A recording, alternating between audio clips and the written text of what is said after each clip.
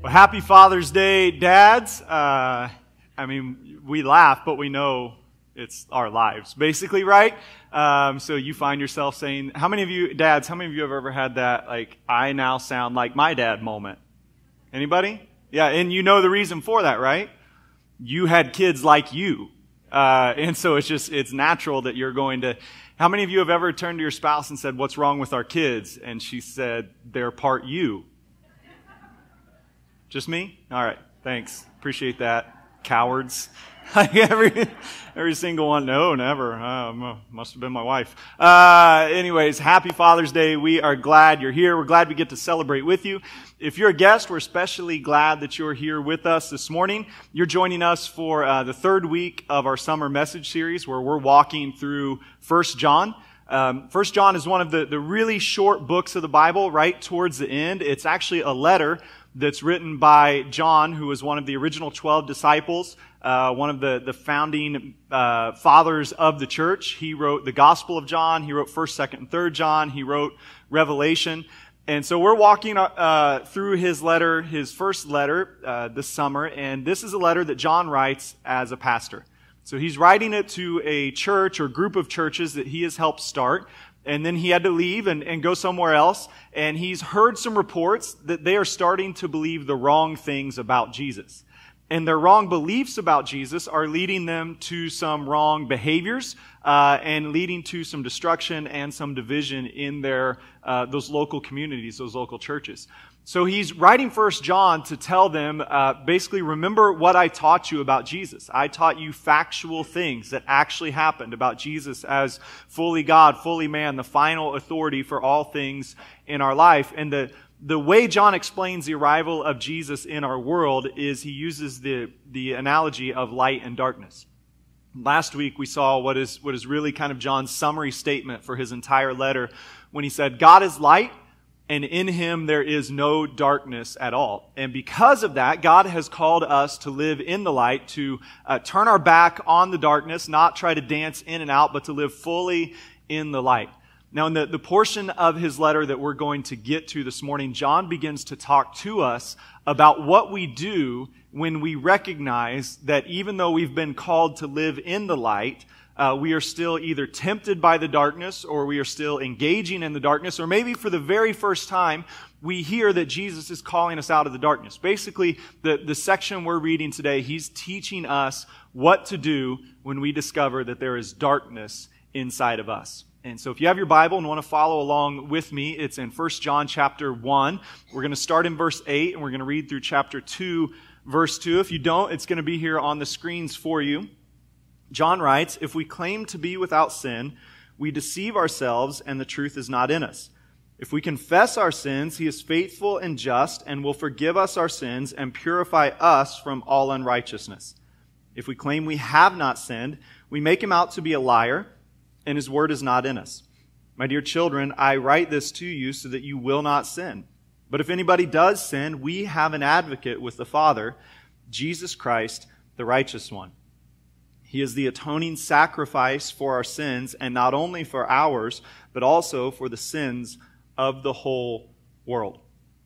Now it's it's Father's Day, and uh, you know my dad had a lot of regular statements that he would make to me. Uh, you know, kind of the the themes of my life. The other day, one of my kids told me, "You tell me that all the time." I was like, "Well, when you start doing it, I'll stop saying it." Right? Well, one of the things that my dad said to me for as long as I could remember, and honestly still says to me on occasion, is, uh, "What's wrong with you?"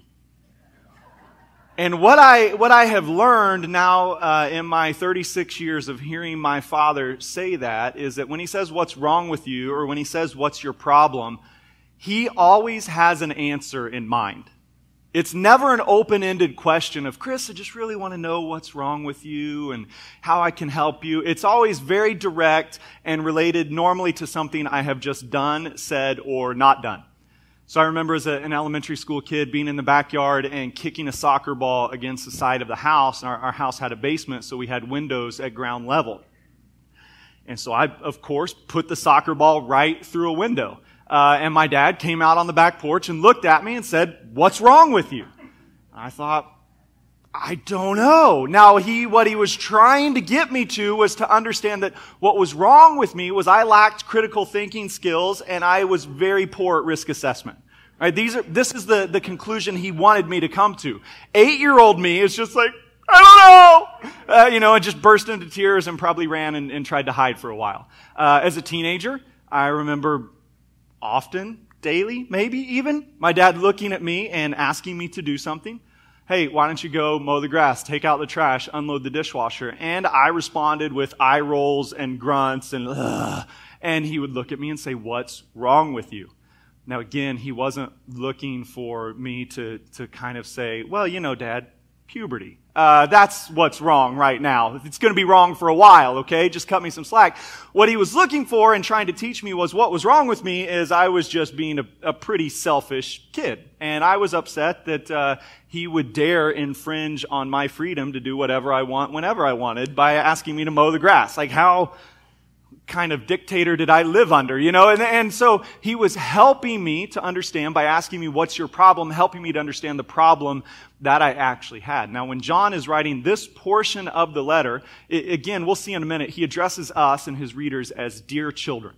So we talked about this a couple weeks ago. John writes this letter later in life. So he is very much in that fatherly role over the entire church. Right? He is old enough to be basically everyone's daddy in that church. And so he's going to write to them as a father.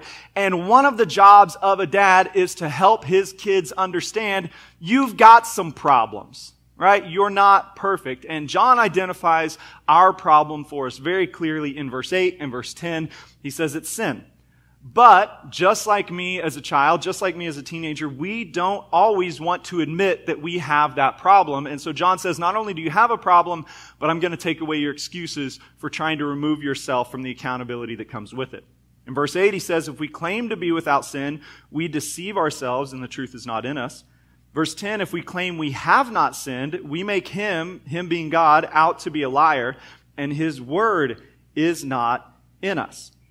So John's saying, you have a problem. Your problem is sin, right? And, and this is not just to his original audience, but this continues to be the message of the gospel to you and to me. This message that, that we're going to, to work our way through this morning is very simple. You've already heard it preached this morning through the songs that we have sung. You, through the, the baptism testimonies, you heard this message preached of we have a problem. Jesus comes as our solution. But before we can receive the solution, we have to acknowledge the problem. Now, there, there were those in, in the church that John had started who had uh, begun to teach that no, no, no, sin is not our problem. We don't sin because our spiritual is separate from our physical. There were others who were teaching that, well, we used to sin, but it's no longer an issue for us anymore because we have been made perfect just as Jesus was perfect. And John is writing to say, sin was your problem. Sin is your problem and sin will continue to be a temptation for you. Yes, you have been called to live in the light.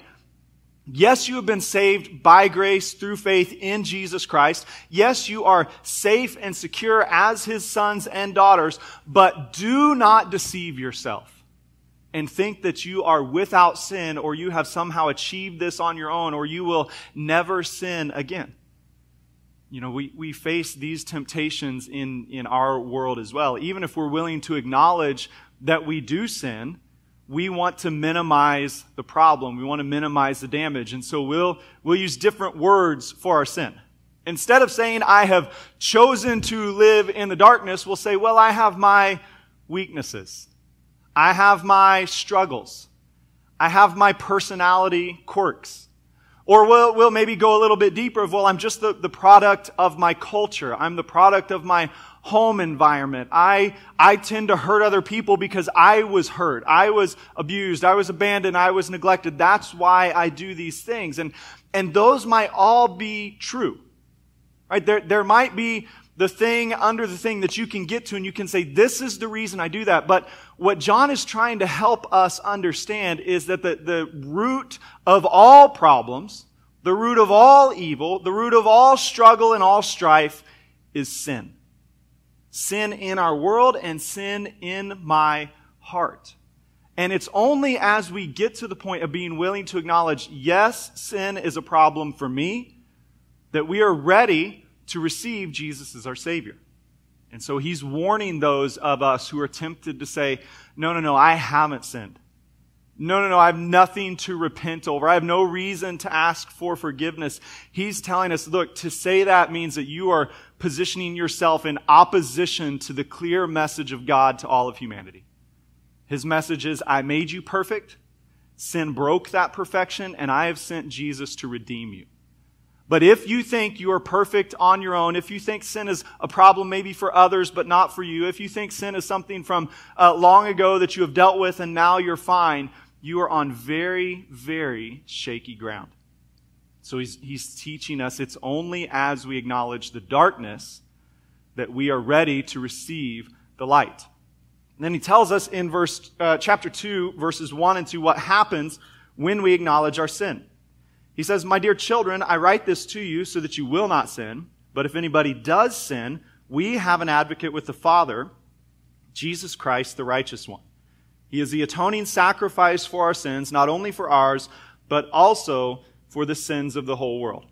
And I, uh, that, that beginning little part, I write so that you won't sin, right? His, intention is you're my children. I love you. I care for you. I would prefer that you don't sin. I would prefer you never experience darkness, the consequences, the destruction that comes with it. I don't want you to sin, but John is also a realist and he knows that we will sin. Right? That even when we have been brought into the, the light of Christ, there will be times that we stumble, that we fall, that we give in to the darkness. And so he wants us to know what to do when we sin. It's, it's very much like teaching a, a teenager to drive. Right? Maybe when your parents taught you, or maybe you're teaching a child currently, or you have, uh, you know your intention when you teach a child to drive is to teach them how to do it well. Uh, you're going to teach them this is, these are some defensive driving techniques. You need to know where you're going. You need to pay attention to the other cars. You need to take your phone and lock it in the trunk, right? You got to do all of these things to make sure we're being safe. And, and then you're going to start teaching them about how to care for the car. You know, we're going to do these types of things. We're going to drive this type of way. And we're going to get our tires rotated. And we're going to check there because we don't want flat tires. And we're going to turn the lights off and all of these so you don't get a dead battery. But if you're a responsible parent, you're also going to teach them what to do in the worst case.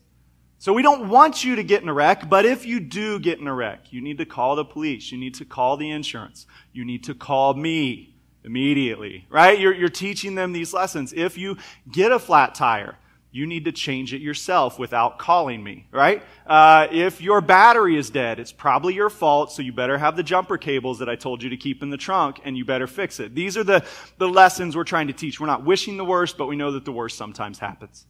This is what John is doing for us as well. He's saying, Look, you are my dear children. I don't want you to sin, but I know you're going to. And when you do, here's what you should do about it. And his solution is not for us to kind of go through these religious acts. His solution is not for us to uh, jump through all of these religious hoops, to climb this mountain, to seek out this certain spiritual experience.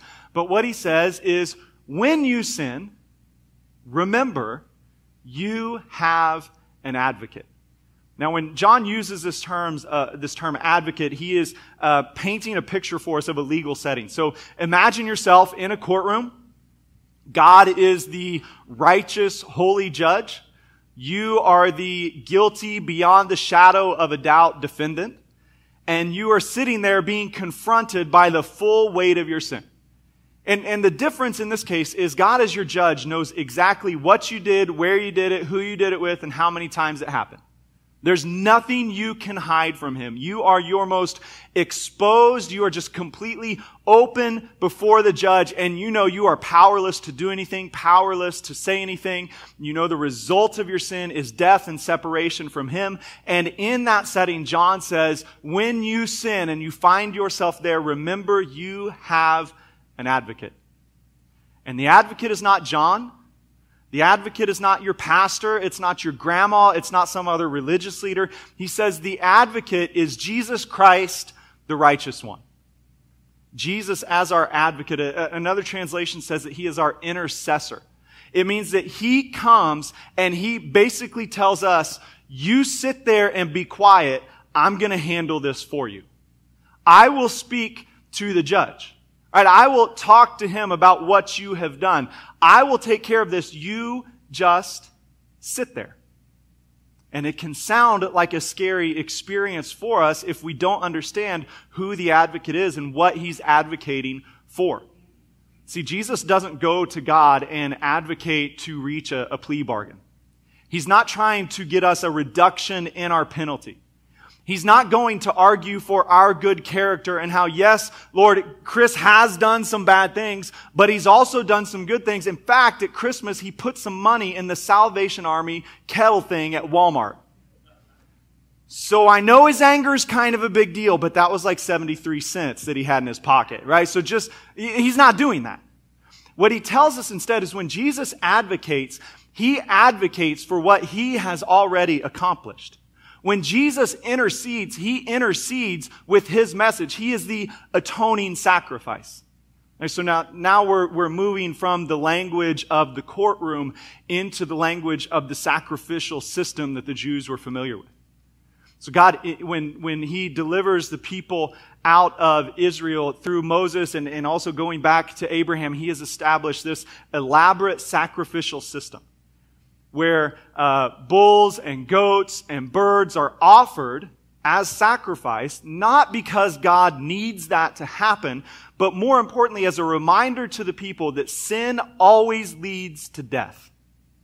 And so in this sacrificial process, their sins are atoned for as they recognize my sin caused death and God in His grace is allowing me to place that onto this animal instead of bearing it myself.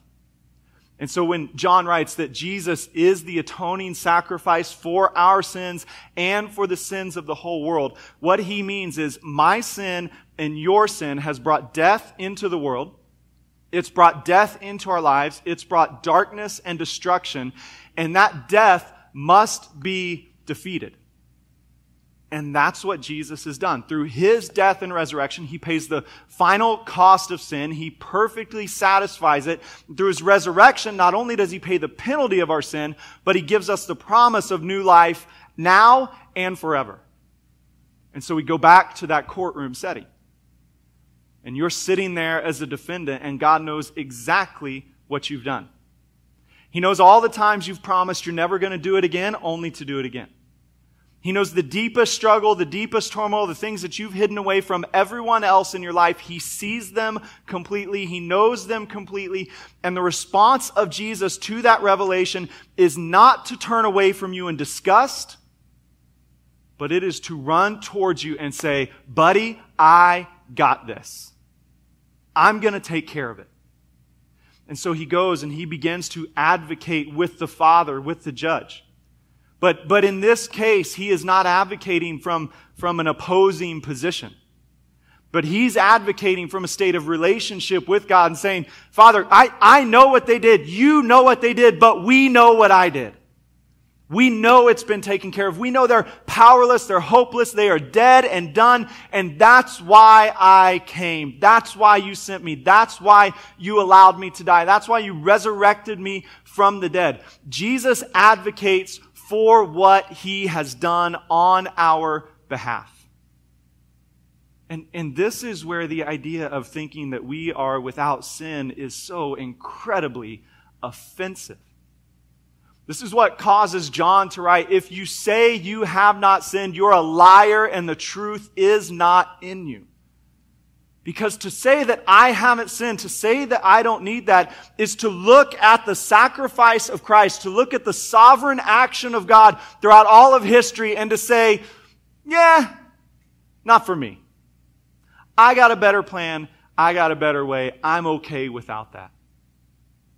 And so even this morning, as we sit with an awareness of the darkness that we've embraced, aware of the compromises that we have made, aware of the promises that we have broken and the destruction, the darkness that we are living in right now. What I want us to hear is Jesus advocates for you. He's calling you to himself, and he's speaking on your behalf to God. And his advocacy is not coming to you and saying, hey, if you'll clean it up just a bit, if you'll just knock it off for like two weeks, then I think I can put a good word in for you. He's saying, right here, right now, in the middle of your mess, in the middle of your sin, I'm going to go to bat for you. And I know the outcome because I've already fought the battle. I've already experienced the victory. And I stand ready to share it with you. So these are the realities John describes. You have a problem. Jesus is your solution. The, the only question that's left for us is how then do we live in the light? How do we walk away from the darkness, let Jesus advocate for us, and then live in this new life provided by his atoning sacrifice? And this is what John tells us about that. He says in verse 9, if we confess our sins, he is faithful and just and will forgive us our sins and purify us from all righteousness. And, and here's where we participate in the process. So everything we've described so far about salvation, about new life, is all about the, the work of Christ and what he has done. And that gift is there and it's being extended to every one of us constantly. But John tells us there is a way that we enter into this new life. We don't earn it, but we receive it. He says, if we confess our sins. When you see the problem and you see the solution, you still have to respond. And our response is one of confession. Right? Confession is telling the truth about yourself, about the things you're doing, about the, the beliefs in your heart, the thoughts in your mind, the, the, the actions and attitudes that play out because of those things. Confession is a gift given by God to us to help us acknowledge, I live in the dark, but I want to be in the light. And yet, many of us are terrified of confession. Probably because we've had some bad experiences with it. Right? You ever been, and I, I mean, I, I remember some of those moments where a coach said, like, hey, guys, just tell me the truth. You're not going to get in any more trouble. And so you tell them the truth, and you get in more trouble. Right? You've had this experience with your parents. Hey, just tell me the truth about what happened to the car. It's going to be better for you if you tell me the truth. And so you tell them the truth, and like, okay, I'm taking it away for a year. Like, how is that better? I could have just lied and you would have said six weeks, but now I told you the truth and it's, you know, and so we've, we've had these experiences. We've been burned or, or maybe it's, it's a friend who said, no, you can confess to me. I will keep your confidence. And you do, and they don't. And because we've been burned in our experiences with confession with people, sometimes we view God as the same way. Well, man, if I really confess this, Jesus might not actually want to advocate for me anymore if I really own it at the deepest level of God, this isn't just something I've done, but I'm going to confess that I actually love it. I enjoy it. I don't know that I even want to give it up. If I'm going to confess at that level, is, is he going to respond with, yeah, you're on your own on this one? See, our, our poor experiences with each other have tainted our view of God. The, the difference in our confessions to the Lord is he already knows it. He knows it better than you do. Right? He has not only watched you do it, but he knows why you did it in ways that you don't fully understand yourself. And so the, the process of confession is intended to be a life giving process to us where we come to the Lord and say, God, I'm, I'm just going to lay all of this before you. I know you know it. But in the process of me confessing it, I am admitting my weakness and my powerlessness. And as I admit that, I am ready to receive the fullness of new life that you have offered for me. And, and yet still we shy away from confession. James will later tell us that not only should we confess our sins to, one, to God, but we should confess our sins to one another. And this is the, the part where you do have to be uh, aware of those you're confessing to, where there does need to be some understandings of confidentiality and accountability. Right? But in that process of confession, sin loses its power. As it loses its secrecy, it loses its grip on your heart. As light shines into darkness, darkness is dispelled. And so John is telling us confession should be a normal part of our daily experience with Jesus. Now, now, when we receive Christ, we are saved and we are secure. He has bought us. He has called us his sons and his daughters. He has planted us in his kingdom. We're members of his family. And yet there will be times that you will still stumble and fall. That the temptation you should have, you should have resisted, you gave into. The sin that should not have entered in does. And in that moment, you're going to be tempted to run, to hide, to turn away. But what John is telling us is confession is a life giving experience for every follower of Jesus. And so the, the evaluation for each of us this morning is to consider if confession is a regular part of our life or not. Right? Are you regularly confessing the sins, the weaknesses, the failings of your own heart? Or have you somehow allowed yourself to, to let that part of your relationship with the Lord slip away? And if we're honest, what most of us will acknowledge is that a lack of confession in our lives is not necessarily the result of a lack of sin, as much as it is the result of a lack of self awareness.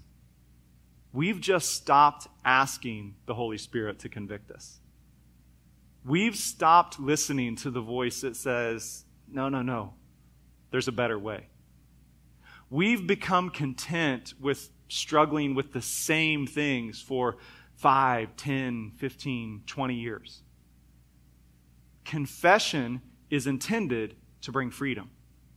John says, when we confess, he is faithful and just, and he will forgive us of our sins. When God forgives us, He separates the sin from us. So He takes your lies, He takes your lust, He takes your anger, and He removes it and He removes the consequences of it from you. He sets it aside.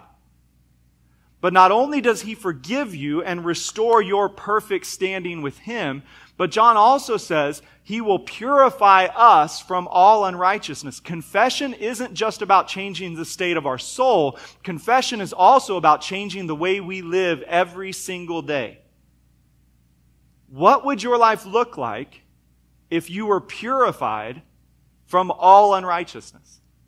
And, and, maybe that's too big of a picture. What would your life look like if you were purified from the one thing you just can't get over? What if, what if God came and as you began to confess your hatred and your bitterness, what if He began to purify you and replace that with love, with joy, with peace? What if the way you feel about your ex husband, your ex wife, about your mom or your dad, about your friend who stabbed you in the back, about the boss who fired you and ruined your career, what if you begin to confess that instead of stuffing it? And in the confession, you not only found forgiveness, but you began to find purity. You began to let these, these cold, dark spaces of your heart be softened and brought to life by the Spirit. What if those, those battles of lust that you've fought since you were 12, 13 years old, and you are decades into that war and you're losing just as much as you were losing then? What if instead of trying to manage that, you begin to confess it daily? Maybe even hourly, maybe moment by moment. And in your confession, you begin to experience forgiveness and you begin to experience purity. That God begins to work to transform your mind, to transform your eyes, to transform everything about you. This is what John is telling us. Look, you have a problem. Jesus is the solution. And his solution isn't just your ticket to heaven one day, but it is a life of purity here and now. But that life only comes through confession. It only comes as you surrender. It only comes as you repent. You'll bow your heads and close your eyes with me. I want us to consider for a moment that it's, it's only as we confess that we receive what Jesus has done.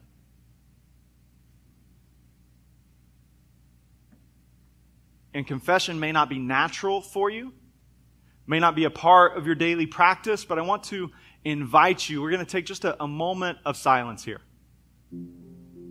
And I, I want you just to begin to confess the things that are in your heart. Confess the sins. Confess the, the areas where you know you are most tempted by the darkness.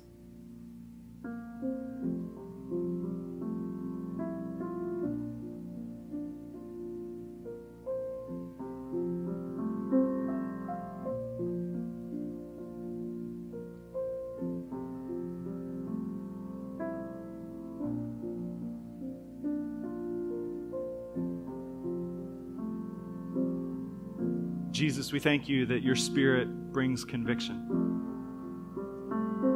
That as you shine your light, it reveals our darkness. Lord, I pray for each one of us that as we confess, we would experience the transforming nature of your forgiveness. And your Spirit would begin to purify us from all unrighteousness. Lord, forgive us for settling for less than the fullness of life that you've offered. Forgive us for our unwillingness to confess. Forgive us of our self righteousness, of our arrogance, of our rebellion.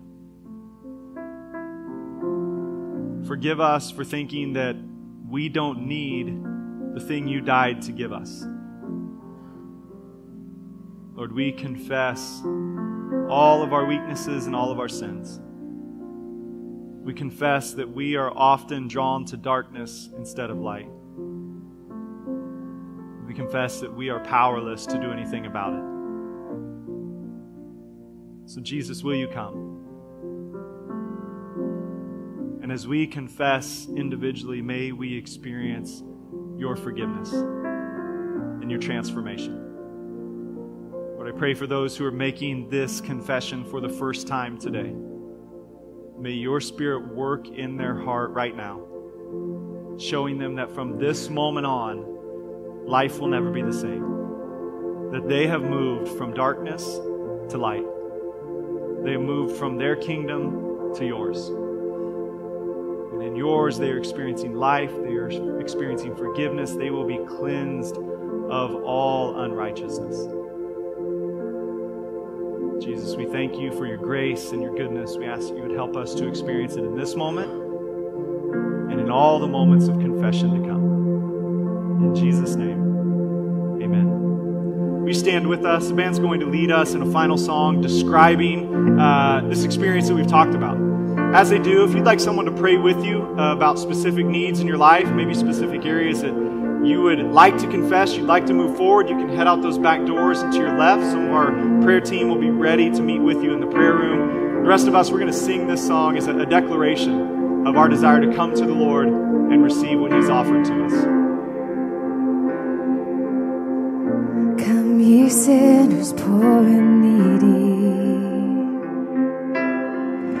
weak and wounded, sick and sore.